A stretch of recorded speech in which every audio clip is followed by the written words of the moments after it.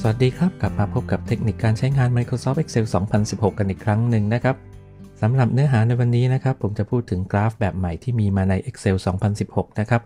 ที่ชื่อว่า Box and Whisker หรือว่าเรียกสั้นๆว่า Box Plot นะครับามาดูหน้าตาของกราฟแบบนี้นะครับ ก็คือประกอบด้วย 2 ส่วนส่วนที่เป็น Box นะครับเห็นไหมครับ ตรงสีน้ำเงินนะครับ สี่เหลี่ยมตรงนี้ แล้วก็ส่วนที่เป็น Whisker นะครับซึ่งคล้ายๆ เป็นตัวทีเนี่ยหรือว่ามองเป็นหนวดเล็ก ๆ ก็ได้นะครับ ซึ่งกราฟตัวนี้นะครับคอนเซปต์ก็คือมันจะแบ่งข้อมูลของเรานะครับ อย่างเช่นในที่นี้ก็คือ B5 จนถึง B21 เนี่ย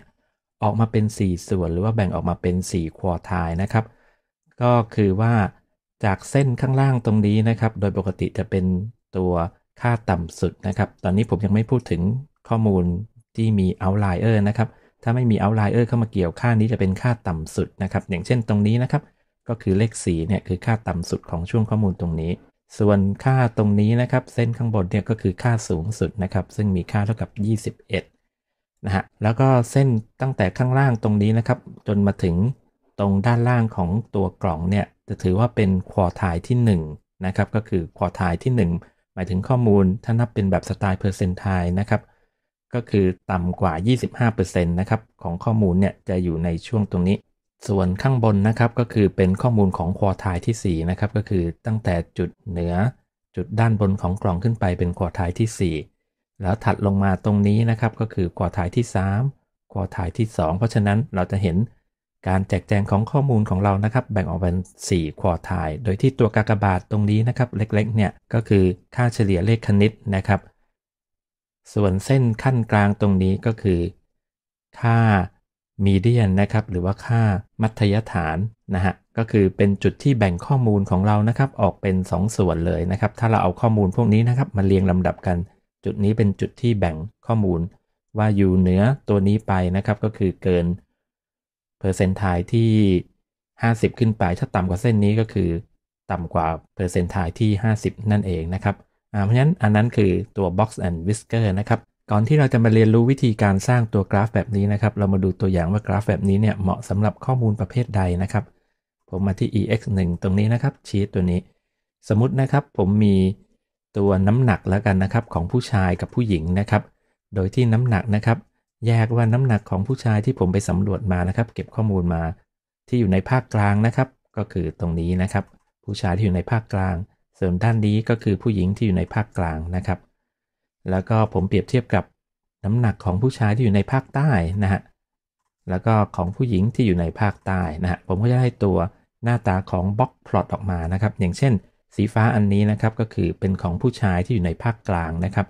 เห็นไหมครับ ถ้าเราอ่านคร่าวๆนะครับ ค่าต่ำสุดนะครับก็อยู่ที่ประมาณเกือบเกือบ50นะครับ ก็คือช่วงของน้ำหนักที่ไปสำรวจมานะครับ อยู่ในช่วงประมาณ 50 จนถึง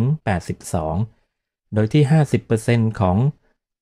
กลุ่มตัวอย่างนะครับ จะมีน้ำหนักที่ตกอยู่ในช่วงตั้งแต่ 57 กิโลจนถึง ตรงนี้ 78 กิโลแบบนี้เป็นต้นส่วนจุด 2 จุดตรงนี้นะครับ ข้างล่างกับข้างบนเนี่ยเป็นจุดที่เราเรียกว่า outlier นะครับ ซึ่งผมขออนุญาตอธิบายในตอนหลังแล้วกันนะครับอะคราวนี้มาดูของผู้หญิงนะครับก็คือน้ำหนักนะครับ50%ของน้ำหนักของผู้หญิงที่อยู่ในภาคกลางนะครับ อยู่ในช่วง 46 กิโลนะครับ คือเส้นด้านล่างของกล่องตรงนี้นะครับ ไปจนถึง ประมาณเกือบเกือบ 60 กิโลนะครับ แล้วมีค่าสูงสุดค่าต่ำสุดนะครับ อันนี้ก็เป็นตัวอย่างหรือจะดูอีกสักตัวอย่างหนึ่งนะครับ อันนี้นะครับสมมุติว่าเป็นจำนวนลูกค้านะครับที่เข้ามาซื้อนะครับ สั่งตัวเครื่องดื่มแต่ละประเภทนะครับ แยกตามสาขาที่เราขายนะครับ เราก็จะเห็นอย่างเช่น สีน้ำเงินตรงนี้เป็นสมุยนะครับการสั่งกาแฟนะครับลูกค้าที่เข้ามานะครับ สมมุติว่าเป็นข้อมูลรายวันหรือรายสัปดาห์ก็ได้แล้วแต่นะฮะ เราก็จะได้ข้อมูลแบบนี้ออกมา ส่วนสีแดงก็จะเป็นภูเก็ต สีเขียวก็เป็นกรุงเทพ ถ้าเป็นชาเป็นยังไงนะครับ ถ้าเป็นสมูทตี้เป็นแบบไหนเราก็จะเห็นนะครับ ว่าการแจกแจงนะครับว่าข้อมูลของลูกค้าที่เข้ามาใช้บริการนะครับ มากน้อยแค่ไหนอะคราวนี้มาดูนะครับ การสร้างตัวบล็อกพลอตก็ไม่ยากนะครับ ก็คือว่า อันนี้เดี๋ยวผมลบทิ้งไปก่อน เราจะมีข้อมูลแบบง่ายๆ ก็คือแบบ 1 ซีรีส์เราก็เลือกข้อมูลไปนะครับ แล้วก็มาดูตรงข้างล่างนะครับ Quick Analysis จะกด Ctrl Q ก็ได้ 1 ครั้ง คลิกไปแล้วมาเลือกที่ Chart นะแล้วเราเลือกไปที่ mo แล้วกันนะครับ แล้วก็มาที่ all charts ตรงนี้นะครับ เราก็จะเห็นตัว box and whisker ตรงนี้คลิกเข้าไปนะฮะ เราก็จะได้ตัวนี้มาก็คลิกโอเค เห็นไหมครับ เราจะได้กราฟแบบนี้นะฮะ box and whisker นะครับ หากครั้นี้หากเราอยากจะทดสอบนะครับว่าข้อมูลตัวนี้เนี่ยตรงจุดนี้นะครับที่เป็นตัวแบ่งนะครับ อยู่ที่ตรงไหนเนี่ยโดยหลักการนะครับ เดี๋ยวผม Copy ข้อมูลตรงนี้มา ไว้อีกที่หนึ่งนะฮะแล้วเราก็มาที่ Data แล้วก็เลือก Source นะครับ จากน้อยไปมากนะหลักการของมันจะเป็นแบบนี้ เดี๋ยวผมใส่ running number ให้ด้วยดีกว่านะฮะว่าเป็นแถวที่เท่าไหร่หลังจากเรียงแล้วนะครับ อันนี้ผมใส่ข้อมูลเรามีอยู่ 17 ตัวนะครับพอข้อมูลที่เป็นเลขคี่เนี่ยง่ายเลยนะครับ ตัวที่ 9 เนี่ยเป็นจุดที่ใช้แบ่งนะครับ ว่าอันข้างล่างตรงนี้ก็คือพวกควอทายที่ 1 กับ 2 นะครับ ก็คือต่ำกว่า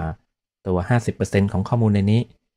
ส่วนตัวนี้จนถึงตัวนี้ก็คือพวกที่